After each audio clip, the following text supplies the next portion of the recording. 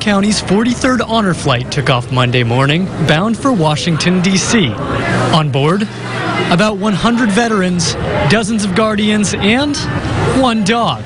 I think we're all more excited to have a dog go on the plane this trip around, but he's such a sweetheart, and we just we, we can't wait for him to see everything that his master is going to see. For the first time in the organization's history, they'll have a pooch on the trip.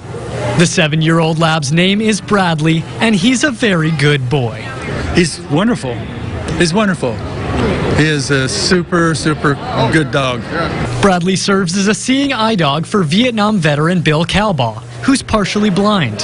He joined Bill in 2016, and the two have been inseparable ever since. He's very attentive. He, he wants to know where I'm at. And uh, even if I walk out my yard around the pool, he'll come out and make sure that I'm going to be okay to come back. When he's not on the job, Bradley is playful, likes attention, and loves his frequent trips to the beach with Bill. But if Bill should show any signs of distress, Bradley means business. Oh yeah, you got He wants to make sure I'm okay. Bradley, Bill, and the rest of the 43rd Honor Flight will return Wednesday at 7 p.m.